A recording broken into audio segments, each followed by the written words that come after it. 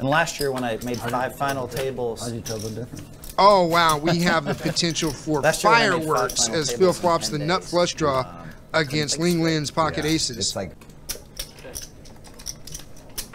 How many days a week do you this concept of playing really intensely for three weeks and then out, out of adrenaline. Let's see know. if Phil's short stack strategy pays off.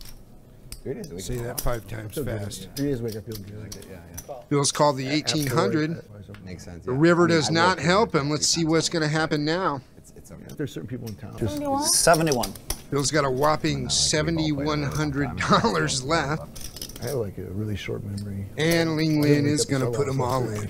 Uh, I don't think he was necessarily posturing. I can't. No, he wanted to Ace call. high? I almost called you with ace high, yeah. I bet too much. I believe Maybe you should buy him short then. Person getting a quick yourself. dig in while he can.